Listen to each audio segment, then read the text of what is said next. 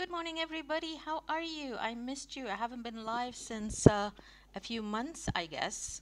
I'm Dahlia Zayed. I'm founder and managing director of Forward Consultancy. What I do in simple words, we build and grow brands in uh, Middle East, Africa regions.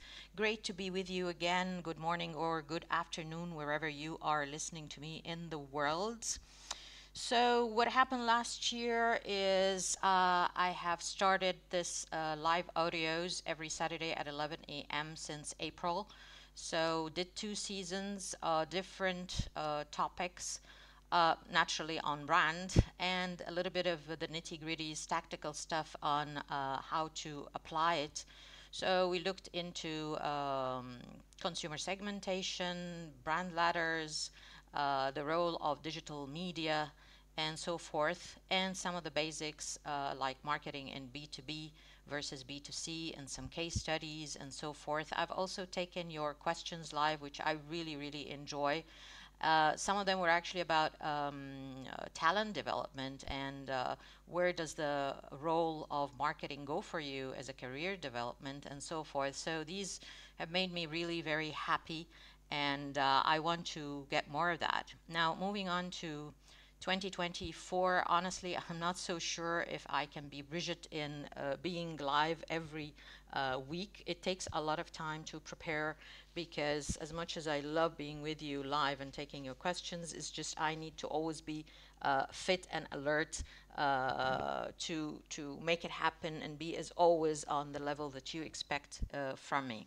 So what I'll, uh, I'll do is play by ear, uh, no commitment so far, but always um, follow the space and um, you know see if I'm on or not. But but it will always be that time slot, uh, which is uh, Saturday morning, 11 a.m. Cairo time.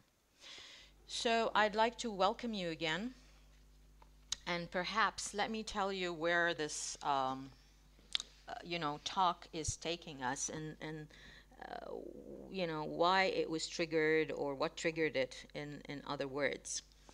So basically, by the end of each year, uh, and you know, companies wrap up um, their numbers, and then uh, by early this year, so in the last, I would say, three weeks, all the big ones, uh, you know, let's say um, the Nestle's of the world, Kellogg's, Kraft Heinz, Mondelez, uh, within the food uh, space, but also other uh, electronics or whatever sector, they would release their financials. Now, uh, when I was reading these things, and it's not like I wasn't aware of it, but they have all stated a huge fact is that they are uh, gaining a bit of value in their balance sheet, but the reality is the items sold are down. So, in fact, they are selling less. Volume growth is really down. So between, let's say, examples of uh, Kellogg's and Kraft Heinz, they have dropped uh, from 5 to 9% in volume growth over 2023, and they do expect that to last. Inflation is all over the place. I mean, it's not a Egypt thing, it's not a regional thing, it's a global thing. For a lot of reasons, and different countries have different um, challenges, and consumers are the same. They are making these choices in their portfolio every time they have a shopping trip. And I'm sure that you uh, are aware of it. You yourself are customers. So going back to the numbers, if uh, the balance sheet of any of the big companies is showing growth in terms of value, this is not real value. It's really about the inflation. The funny thing, and, and maybe this is a side note, I don't want to derail you, but honestly, I mean, I mean, the people I speak, I speak to for the last few years since I've become a consultant are really, you know, uh, C-suite level, CEOs, investors, and some of them really surprise me that they can't read it properly. They come in with statements like, oh my God, we're doing great, blah, blah, blah, but when you look at it, it's only value but then you have the nitty gritties of you know your operations or your manufacturing especially when you have heavy investment in a country and having that you know factory not working in full capacity that's a disaster for any uh, company to have. You know, it's just you know static kind of capex. It's just there. Uh, it's not just about sales. It's not about marketing, but it's about the whole business. How is it doing? And then you make choices whether you're going to downsize um, your portfolio or downsize the organization. You know, many now would do, um, uh, you know, the job of three people because they are understaffed and for a reason. But is this the way to manage it? Absolutely not. It's hard times, sure. It's, it's not rosy. I'm not going to tell you that everything is great. It's going to continue for at least two to three years, this global down. But it's really about how you navigate it. And that's the power of leadership and management and experience. I mean, this is not new, okay? I want to just, you know, put Egypt aside. I'm talking here on a global level. There has been rounds, I mean, if you look at history, there has been rounds of economic downturns. That's, that's very normal, okay? And the way companies navigate that uh, uh, are really known. I mean, it's just, you know, I would think you need to be a bit savvy and updated with your customers more than ever. You need to have a lot of collaboration. So uh, if you are not growing uh, volume-wise and you don't know how to anticipate that and you're not doing anything about it, that's basically so tough on people like, you know, um, supply chain. How do you forecast demand? How do you, you know, uh, do procurement? It could either be that you're under forecasting or over forecasting because you just don't know. But this, you know, don't know can have uh, a bit of a solution.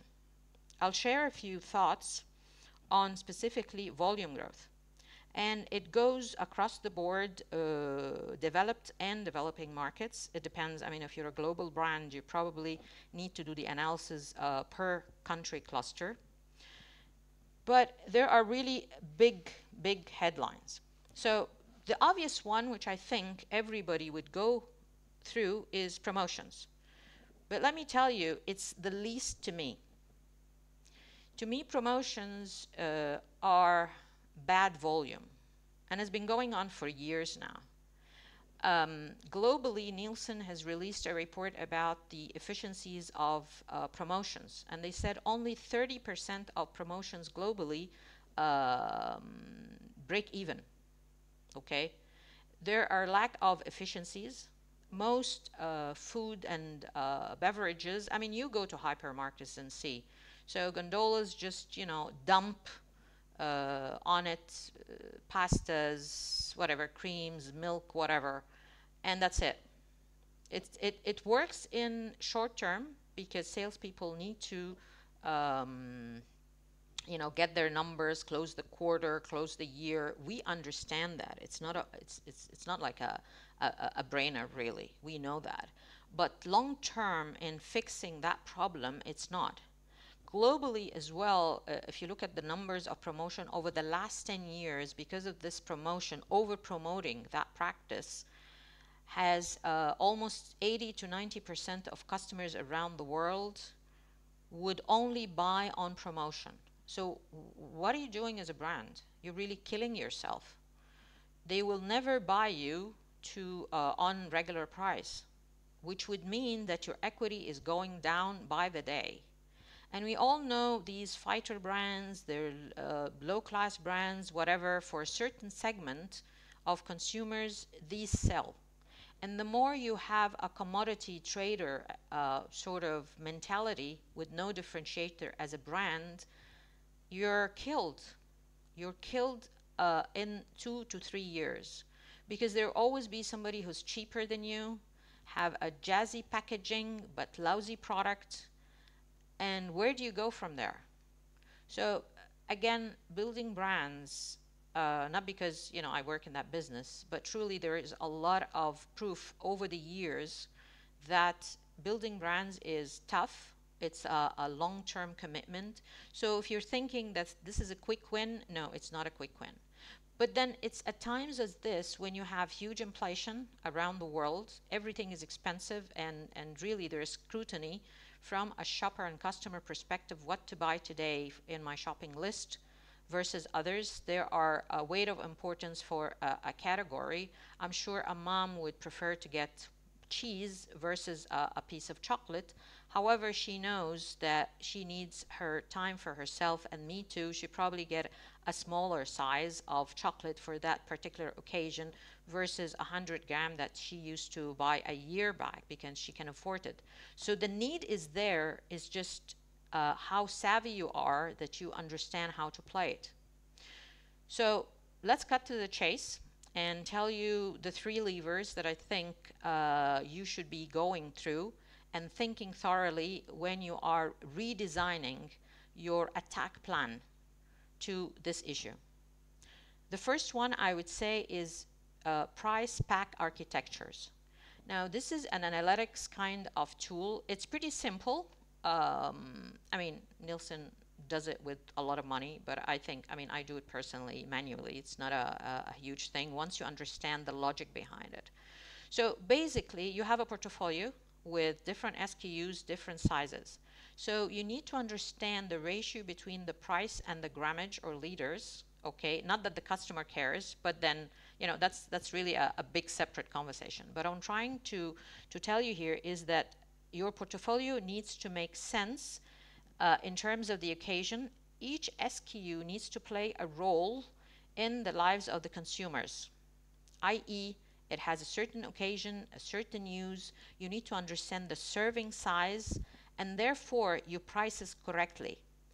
That one thing. The other thing from that exercise, when you map all the SKUs in the market of yourself and your competition, direct competition, and I want to stress this part because um, many companies unfortunately get blindsided by who is your competition they always say like, okay, if it's pasta, then it's all pasta brands. If it's oil, then it's all oil brands.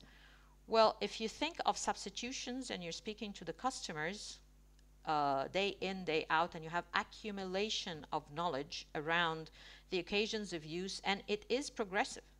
Think about snacking. And I always like to give this example, not, not because I've, I've worked like 10 years on snacking and more around the world, but years ago when we used to define snack, the number one was a fruit. That's the bigger context. It was not chips. Within commercial, kind of, yeah, chips, biscuit. Today there is noodles. Today there is coffee. Believe it or not. I mean, coffee is very diversified and versatile uh, category. You'd be amazed. You know, some people who don't want to to eat a lunch at work uh, especially ladies, would skip that by drinking a, a, a, big mug of coffee. You know, this is what we call timey over until she goes home and has a meal.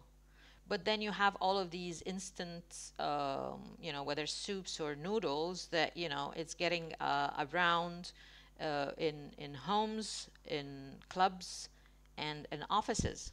Not everybody wants to, uh, you know, slim down or eat less, but there is a budget. And uh, an average I don't know fast food delivery now is not less than uh, 150 if it's just you know one sandwich and you know you know the prices and I'm, I'm talking Egypt specifically. But then again this is an exercise that goes across. So price pack architectures where you are and how you can leverage the gaps so when you map this um, SKU exercise, you will find gaps. So that gap could be a new SKU uh, and most likely would be a bigger size uh, to initiate more volume consumption and sale. And you would know probably if you've been working in fast moving consumer goods, particularly food and beverage for a long time, you would know that uh, bigger sizes blocks your competition because you know the customer had already stocked up. That's the secret and that's the game. Now the second lever would be an obvious one, which is innovation. While I say it's obvious, it's not easy. And I've wor worked on innovation, you know, tons and tons of years across categories, um, countries. The thing is, if you want a successful innovation, i.e., something that really uh, fits a need gap and is part of your ongoing portfolio forever. You know, this is not a quick win. This is not a, a, a line extension. This is not a new flavor. You need to do it properly from ideation to commercialization, which roughly I would say takes around three years. Yeah, especially if you're doing capex uh, investment and packaging and you're putting in all the right talent there to get the process of innovation correctly. There's a lot of, you know, um, BS around innovation that I've seen lately because we can't even define what innovation is. Now, you, you can go back to my YouTube channel. I have tons of stuff on that. But I think one of the words that I like uh, recently is renovation. And I depicted that in a, in a talk uh, from the CEO of Nestle recently when he said, uh, yes, we will invent, uh, invest in innovation and renovation. Now, I like the word renovation because it's a quick fix if something needs to be fixed about your brand. And that is the caveat because I have seen a lot of, hey, new look, and you invest so much money in either uh, a new pack or a new design that may or may not help your brand equity and a pull. Uh, sometimes you actually need a cleanup, which gives a temporary buzz to your brand. Uh, it shows better in um, on shelf. Uh, it is a reason to come out there as marketeers and talk to the consumers. You have something new, but you know consumers are not stupid. They they know that this is just a, a flashy thing. Uh, you know, I I always like to give that example of you know if if you're a woman and you're just bored with your look, you go and you know dye your hair and and cut it, uh, have a different cut or something, and you feel good about yourself temporarily. And people would you know, oh, you cut your hair, what a nice haircut, or what a nice color, nice shade, it suits you well. But that's like two three weeks, and that's about it, which is fine but you know I'm, I'm giving you this example because it's a temporary thing you know at, at the end of the day uh, we always have to refer to the core which is brand equity and longevity in the market watch out for newcomers particularly if you're an old brand startups even though they don't get this brand thing right and their niche but they are eating share from you and believe me, there. I mean, if I, I don't want to really, you know, lash back at some of, the clients I, I speak to, but you know, it, it really surprised me that some of the basics are, are really not there.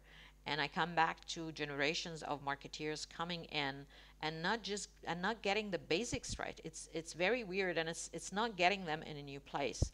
And on the other hand, you've got you know, uh, major companies and brands that have so much money to spend just to create a buzz. I mean, uh, I, I think yesterday or the day before, I have put in a comment on um, uh, Lay's uh, in, in, in it's, it's, you know, the global team have put in an ad which is about a, a, one minute long and it was featured uh, in the UEFA championships. Now it's very nice, okay, but you only see it once and that's it. But you know what? They have a budget. They can afford that. Whether it's going to initiate more consumption, probably not. I mean, if you're into Lay's, you will. I mean, I will not, if I'm not into chips, I will not go and buy chips. If I'm into uh, another brand, I'll probably not switch to Lay's because of that.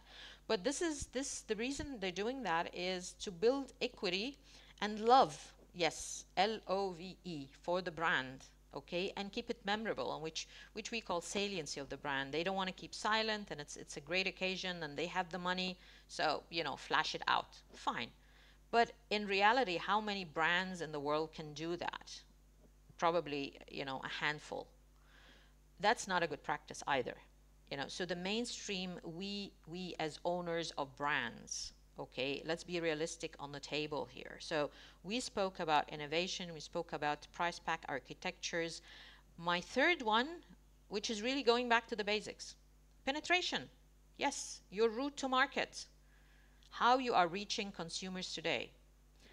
Let me equate that to communication you know uh, in the old days when you used to write a brief 20 years ago you would say ALT and BLT, which is above the line communication and below the line communication, very classic.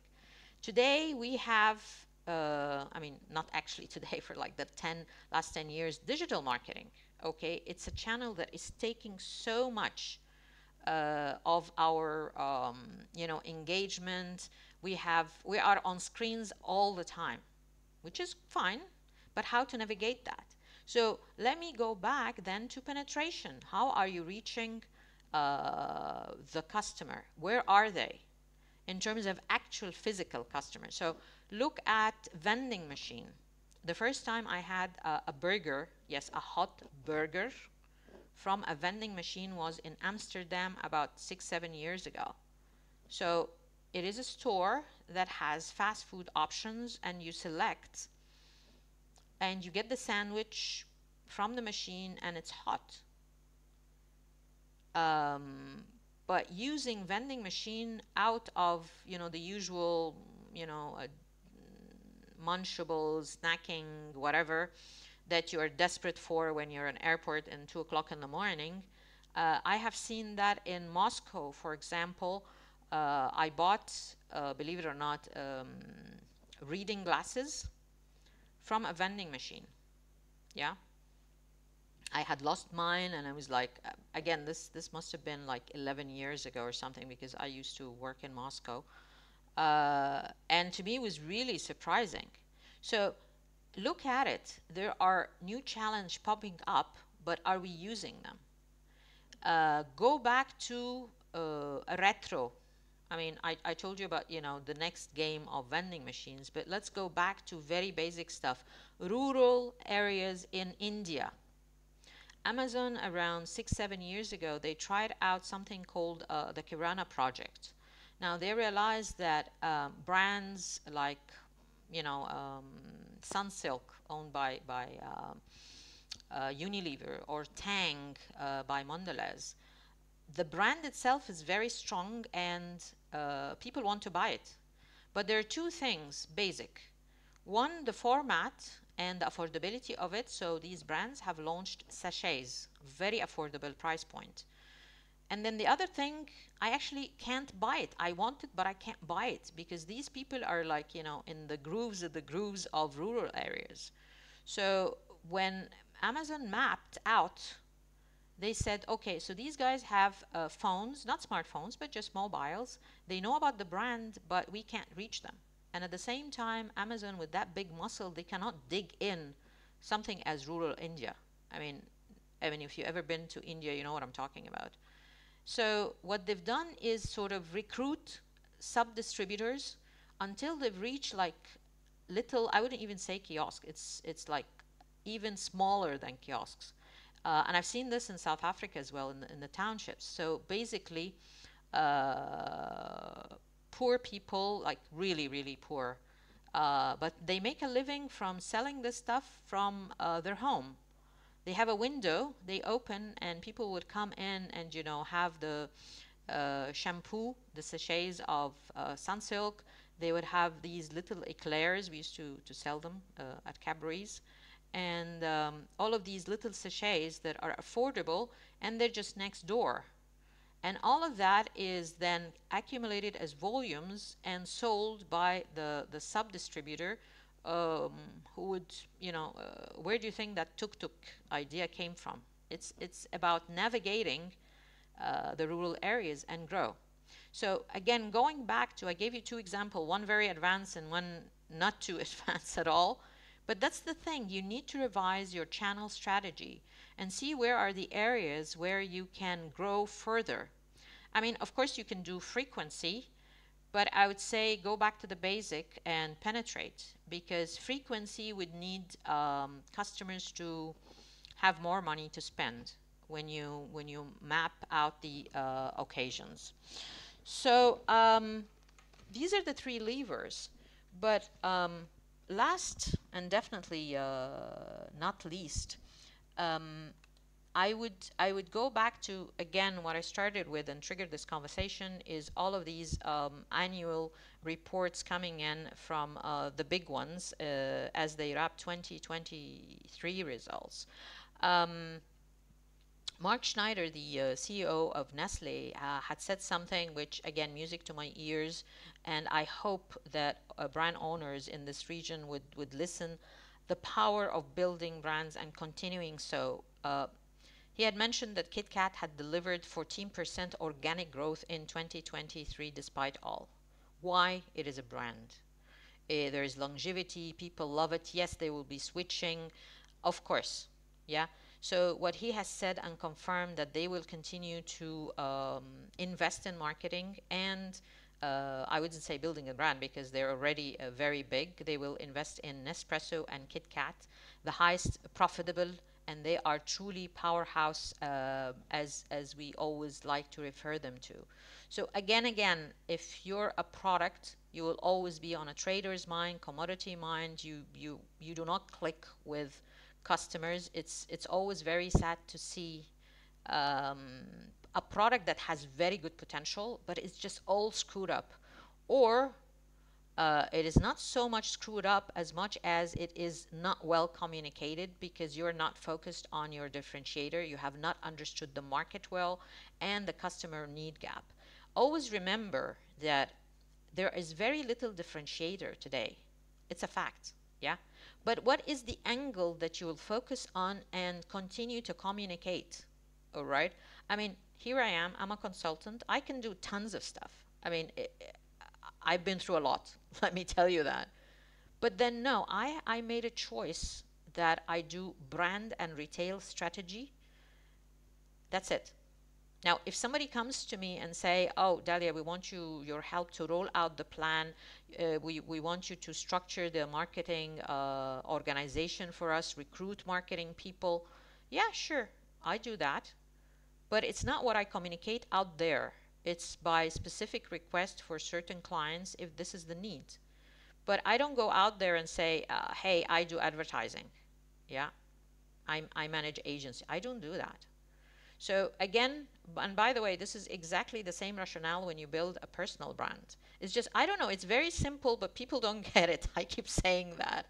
But anyway, so um, we're just on time, 11.30. Um, I'm wrapping up uh, my discussion here with you. I hope you find it insightful, those three levers of volume growth. And again, of course, the devil is in the details and in application. If you feel that you have questions, you have you know, um, certain dialogue coming in your head, whether I do that or not, you know, just reach out. I'd like to help whenever. And um, if you have questions, uh, I mean, we're, we're up for time, but I mean, I can take a, a few questions or comments if you like so. Um, just, you know, um, you know, raise your hand if so. Uh, if not, by the way, uh, this session will be uh, on my YouTube channel. Um, you know, maybe tomorrow or something so you can either share it or listen to it again. And um, I'm actually I'm happy to see familiar faces in the audience. Uh, so do you have questions guys? Uh, comments? If not we can wrap it up here and wish you a lovely lovely rest of the day